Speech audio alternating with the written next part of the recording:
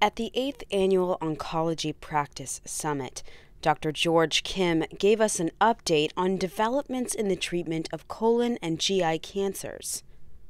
For, uh, for a practicing doctor, practicing community oncologist, um, what um, uh, is practice changing development in the past 12 months in colorectal?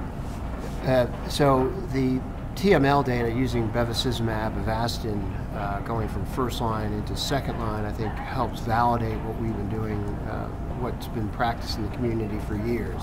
Uh, we finally have a randomized trial that shows that that is a valid practice, it helps patients, and uh, we're able to maintain overall survival benefits.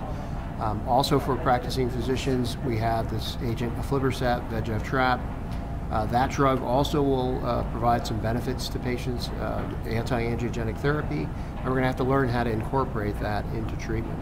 And then regorafenib, now we have a drug for patients that have exhausted all therapies, they're still having good performance, they're, they're still functioning, but they want another treatment, and regorafenib is that opportunity.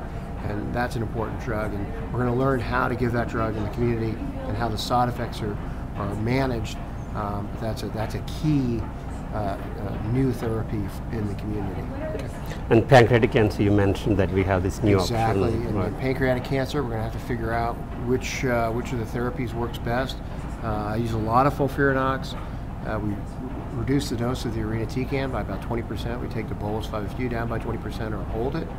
And it's fairly manageable. Hopefully the outcomes will be as good as using full dose gem, uh, gemcitabine and Abraxane. So uh, lots of uh, new practice changing therapies uh, that are going to be applied out in the real world, out in the community. Okay, and what's new in gastric cancer? Anything? Gastric cancer, I think, is the anti-VEGF therapy.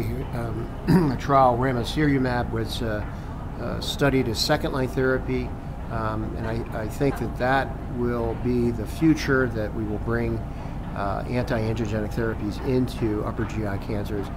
Um, and I, I, hope that will be uh, very uh, helpful for patients. And in the future, there's the potential that that will change uh, how we practice in the community. Okay.